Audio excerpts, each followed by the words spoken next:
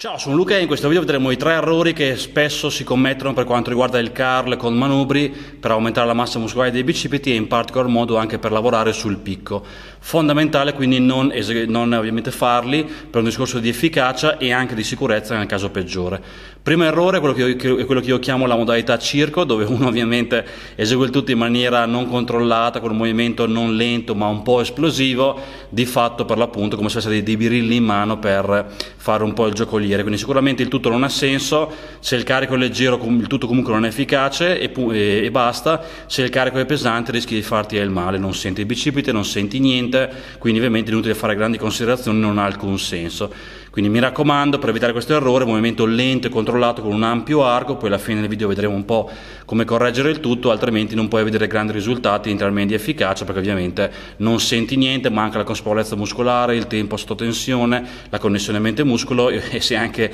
eh, ovviamente ridicolo da, da, da guardare, perché ovviamente il tutto non ha il minimo senso per un discorso di efficacia e quant'altro. Dopodiché, secondo loro, usare un carico troppo elevato, altro classico, dove ovviamente ci si inclina, ci si flette lateralmente in maniera super pericolosa, con un carico per l'appunto troppo elevato, mantenendo un po' gli errori visti prima, anche se in realtà comunque il movimento è un po' più lento, però sempre con ovviamente una totale mancanza di controllo, movimento, connessione mente-muscolo, quindi manca tutto. Quindi già visivamente uno viene da ridere, quindi che sia il primo o il secondo errore, vedi che ovviamente il tutto non ha il minimo senso per un discorso di efficacia.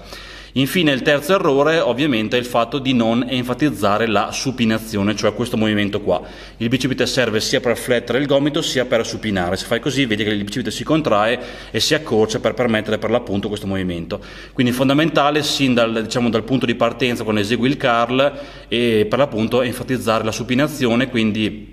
già quando parti, oltre ovviamente a flettere il gomito, quindi il braccio in sé, vai per l'appunto anche a enfatizzare la supinazione arrivando con il mignolo più in alto del pollice. In questo modo senti al meglio la contrazione e la supinazione poi è quella che ti permette di, di lavorare molto sulla, sul picco del bicipite stesso, che sia curl con manubri o altri esercizi per i bicipiti che permettono la supinazione. Quindi mi raccomando in generale ovviamente che sia in piedi o seduto, carico adeguato, movimento lento e controllato, sempre scapole addotte e depresse, schiena che mantiene le curve almeno per la parte alta e dopodiché per l'appunto lavori molto su un'esecuzione impeccabile per un discorso di efficacia e di sicurezza. In questo modo puoi avere ottimi risultati senza rischiare di farti del male e con una presa mai troppo stretta, altrimenti intervengono troppo gli avambracci a livello muscolare, il che toglierebbe stress a carico dei bicipiti. Quindi mi raccomando, presa non troppo stretta, altrimenti per l'appunto i bicipiti lavorano meno. Sempre per l'appunto con enfasi sulla supinazione, arrivando con il minimo più in alto del pollice, dopodiché in questo modo per l'appunto puoi avere ottimi risultati per quanto riguarda la contrazione del bicipite stesso